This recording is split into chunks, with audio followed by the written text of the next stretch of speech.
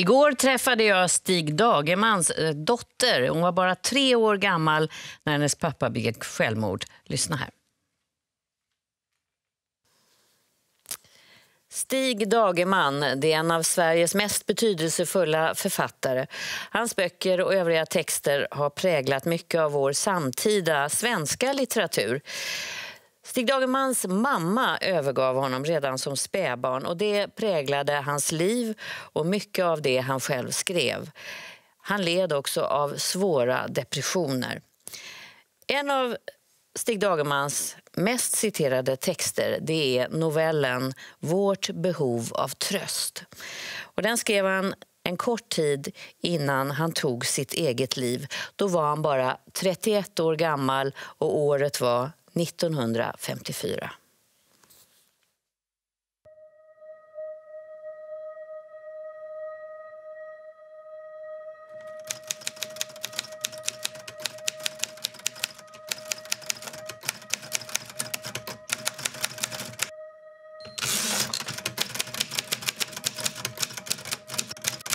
Jag saknar tro och kan därför aldrig bli en lycklig människa.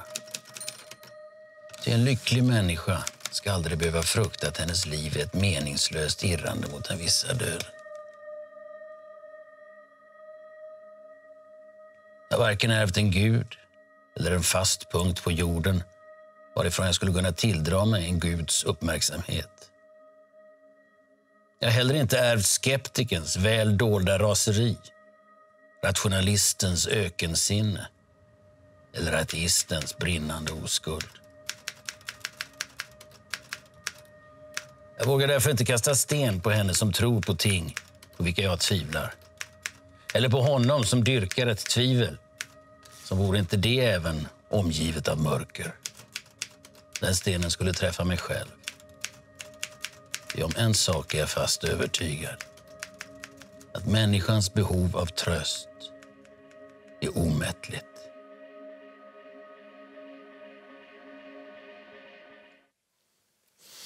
Ja, Stig Dagermans rader var alltså detta ur eh, Vårt behov av tröst. Och nu har jag bjudit hit eh, Stig Dagermans dotter Lo Dagerman. Välkommen hit. Hej, tack. And Nancy Pix, who is a writer and a journalist. And the two of you have done this book. And Skuggorna vi bär är den svenska titeln och det är en väldigt speciell bok om två öden, två människor som vi ska prata om nu. Eh, jag kanske ska börja med att prata lite, lite svenska i alla fall för att du eh, är ju trots allt svensk. Det är jag. Det är ja. du. Även om Nancy nu inte kommer att förstå någonting. Mm, Men mm. om bara kort så var du eh, väldigt liten när din pappa tog Jag skulle just fylla tre, så att Ja. jag har ju inga minnen Nej. av honom. Nej. Och det är de minnena som du under många år har försökt att eh, pussla ihop för att få en, en egen bild av din pappa. Va? Ja, det, det är ju det att jag, som sagt, ordet pappa använde jag ju aldrig, Nej. för jag hade ingen. Utan det är, eh, men det är ett otroligt arv som han lämnade Ja. efter sig. Och det är det arvet som betyder mycket för mig och som jag vill föra vidare till mina söner. Och Dan hade ju gjort filmen här som vi såg. Din son. Ja. Och, eh, och det är ju spännande för från början så var det alla andra visste mycket mer om Stig Dagerman än- Mm. än vad du visste om din pappa. Och som du vet, man behöver hitta sin egen ingång. Så jag stack iväg till Amerika Ja. och eh, så småningom började böka runt i allt det här. So you went to the US and what Right. happened? You got married? Um, I got married, you know, I got a career and I got kids. And when you get children that are American and they don't read Swedish, uh, you know, this was the time when I thought, oh my God, you know, I need to know more. About your father? Yes, or, yes. And you explain that you don't call him your father because you never got to know him really. Well, I mean, if people ask, I do have a father, but you know, it's not a daddy. It's not a papa. But it's also a person that is surrounded by a myth. Mm. Also, probably also he was enormously talented, but he was all, he committed suicide, and that Mm-hmm. creates a lot of he he he leave a lot of questions behind. Exactly. Uh, and many, many children in my situation would you know, be be asking similar questions. Mm. And I did pursue sort of a career that involved a lot of psychology mm. and so forth because I found that a very helpful. Um, yeah, helpful in my search. So, what did you find? Because you started to translate, and you started to mm -hmm. use uh, mm -hmm. network to create uh, your own -hmm. picture, sort of mm-hmm. in English. Well, I'm not done. um, I have been working with um, just certain texts and done very close readings of certain texts as we have been working with them. So, for example, uh, Vårt behov av tröst är omättligt for the film. Um, then a lot of Stig's short stories that are very, very, but they are sort of semi autobiographical. They give a lot of clues if you know uh, the places he's writing about and the people he, you know, he's writing about. So we, we came out with um, a brand new collection of short stories in the U.S. Mm -hmm. called Sleet, translated by a brilliant translator, Steven Hartman, who, who lives here. Um, and that that was incredibly rich. And then mm-hmm. out of the blue, truly out of the blue, came Nancy and and said, "Well, um, this play," and you know, one thing led to another, and we then Skuggan Mart, Marty's shadow. We needed you have to, to explain about the play. What, what is it about? Because he's, yeah. I just explained the loss of his mother. He was abandoned mm. early. Yes, yes. Uh, and and this kind of yeah. went on and on in his soul yeah. and head all the time. Uh, so Stig had written some about complicated mothers earlier, touched on it in his writing. But this play is really a new departure in his writing, looking at mother-son relationship that he then continues in A Burnt Child, Bränt barn. The play is about a mother with two sons. It's set in a country that has gone through a war, so it's not Sweden. Um, Stig doesn't say, but we sort of know it's Paris and France after the war.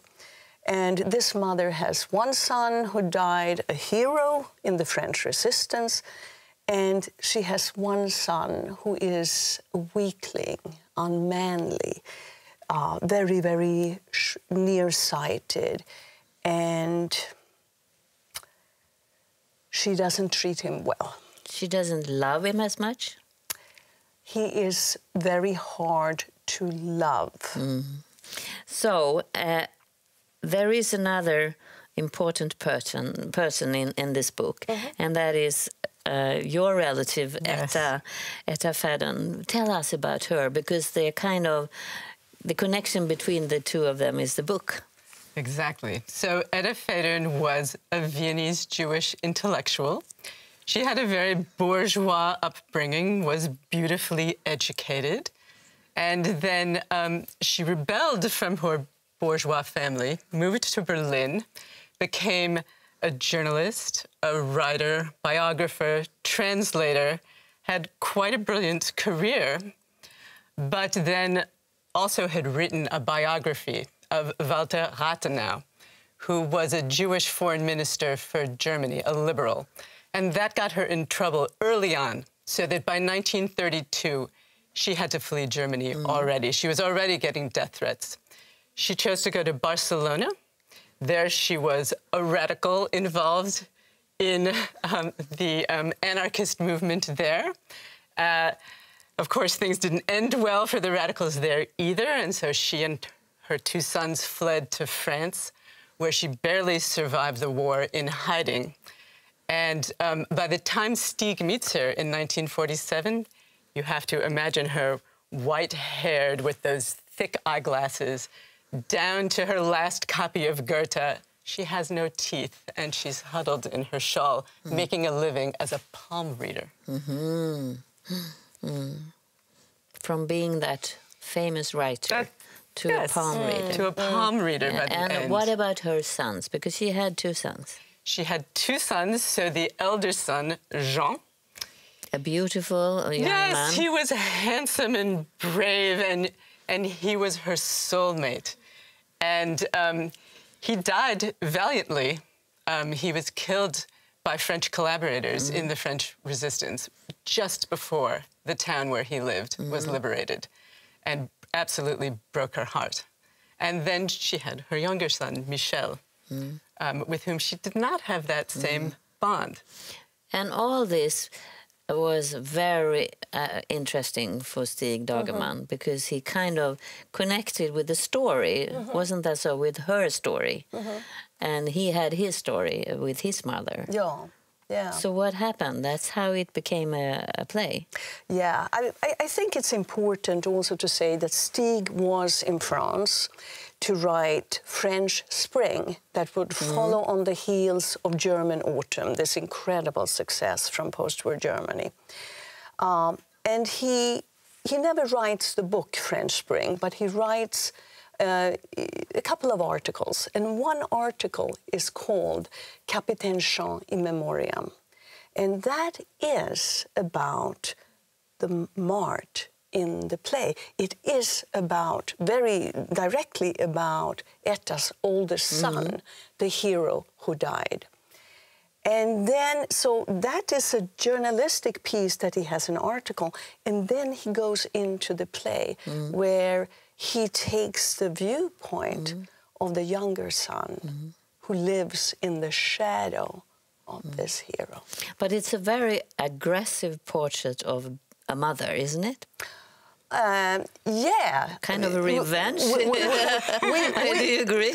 yeah, we, we, we call her, you know, a monster mother. The monster mother. in Monster the play, mother. she's the monster mother. And much of our investigation in this book was trying to figure out how much of that was based on truth.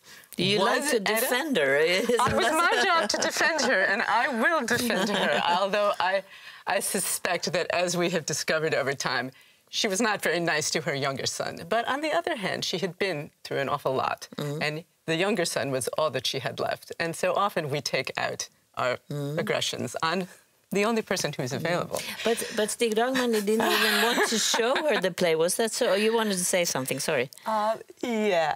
Um, Stig writes in the program notes to the play when it opens at Dramaten that the people in this play and who are treating the younger son Gabriel this way are no monsters.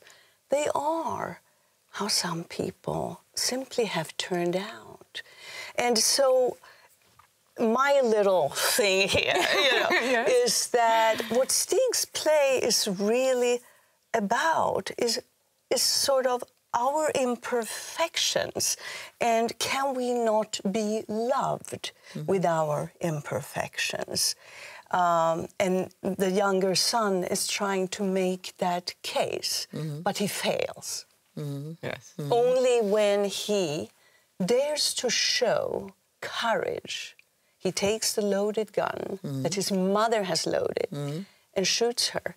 He can become lovable. What it sounds like a? Greek myth. Yeah. But but this is one thing to liberate yourself from your mother if you're a boy or a son. Mm-hmm. But have you been fighting about the picture if she was a a mean monstrous mother or not? Well, that's the tension in the book, of Yeah. course. That's what makes it fun to read. That's what made it fun to write. Um, thankfully, Lo's trained in psychology, so she kept things from getting too ugly between us. and um, if anything, I would say that if you're going to find a partner to do a project with like this, make sure that it's someone who has psychological training. That'd be good for both of you. But what I want to ask you is, even your own family denied her or didn't tell anything about her. She You had- disappeared. she disappeared. She disappeared. Her her very famous brother did not disappear. So I grew up knowing about Paul Federn, who was a very early disciple of Freud's and quite a prominent psychoanalyst. Mm. Not a word about Etta. My Why? cousin Why do you Etta think? disappeared. Why is that? Well, I think there are a couple of reasons. One is that there's certain amount of sexism in my business-oriented family, I would say, that came down through the generations. And Etta um, was twice divorced, and so not a successful like success in terms of having that sort of classic Jewish family.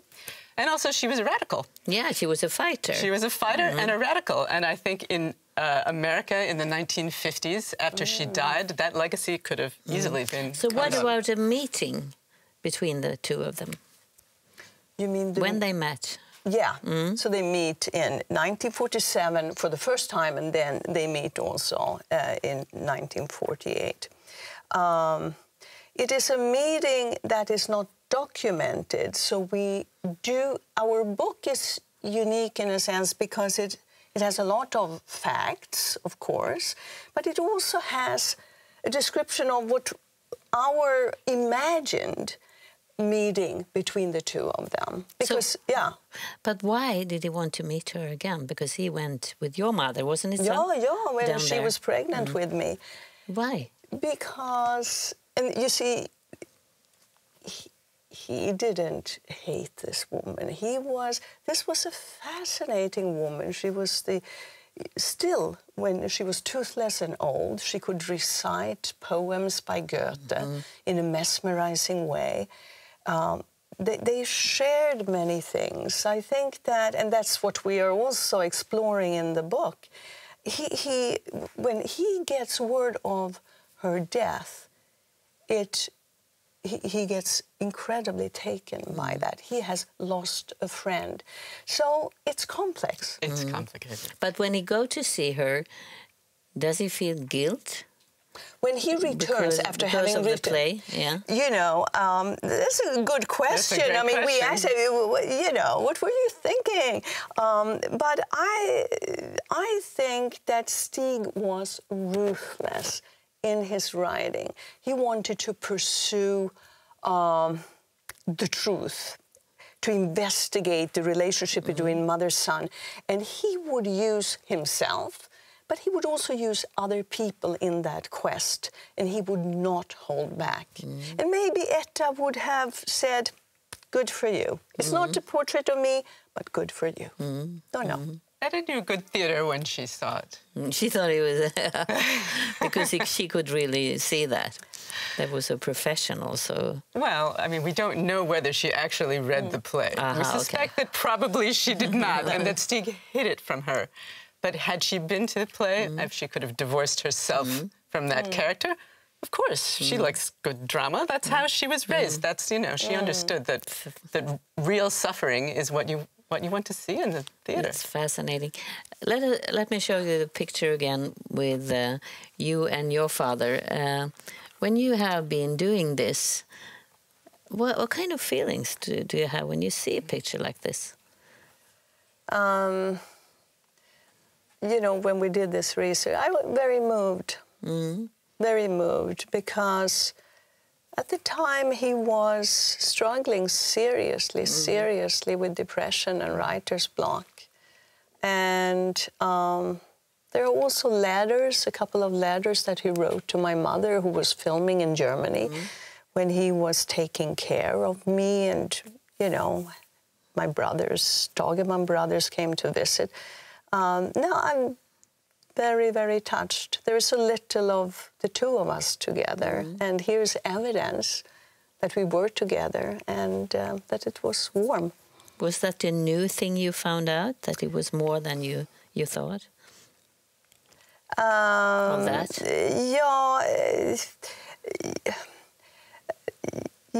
I mean, it's been through some other sources as well, but that the first time I saw in a letter uh, he's using my name, Lo, Loppan, made me cry. Mm. But hey, you know.